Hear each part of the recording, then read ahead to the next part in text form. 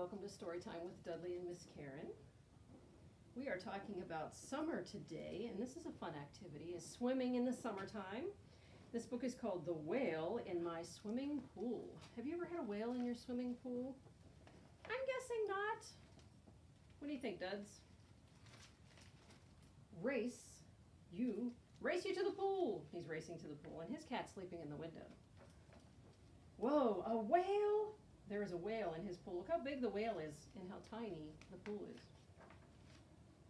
Mom, there's a whale in my swimming pool. Great, honey. Don't forget about sunscreen.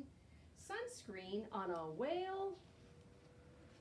Dudley doesn't have to worry about sunscreen.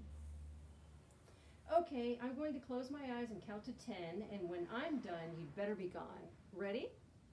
One, two, three, four, five, six, seven, eight, nine,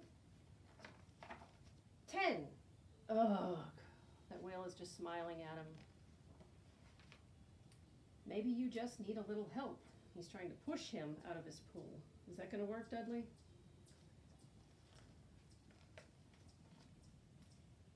Why my pool? Why not the pool next door? They haven't the best, they have the best pool on the block. That's a beautiful pool next. It looks like there's a shark in the pool next door though.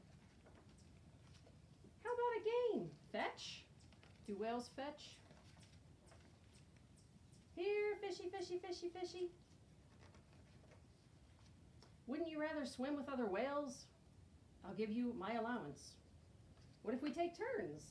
Tag, you're it. He won't leave. Oh, this is hopeless. He can't even get him out with a crane.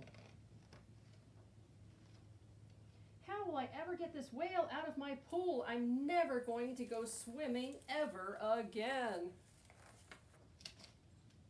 I give up. Wait a minute, I have an idea. Wait here, I'll be right back. Well, maybe this is not so bad after all.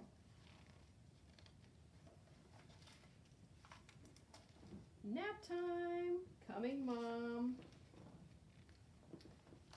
Oh, great. He snores. What's in his bed? A bear. Now he's going to have to figure out how to sleep in that bed. The end.